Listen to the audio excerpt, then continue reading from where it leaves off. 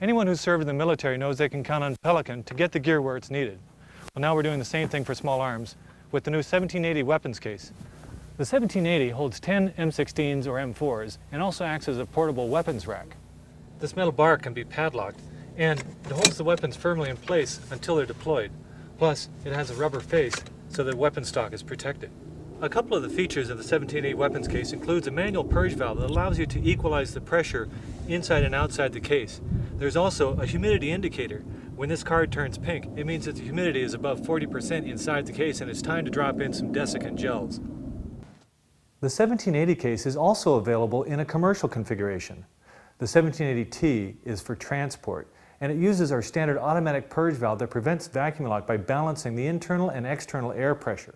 The 1780 case has a 50-50 split, and you can order it with or without the pick and pluck foam set.